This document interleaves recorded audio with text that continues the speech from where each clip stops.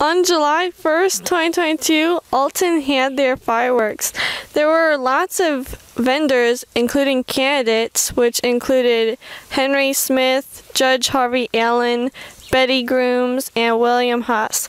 There were also food vendors that had snow cones, funnel cakes, cotton candy, and more. We are giving out goodie bags at the Thayer and Thomasville fireworks. If we still have some and you catch us before they run out, you can have one. Happy 4th of July to all of you out there.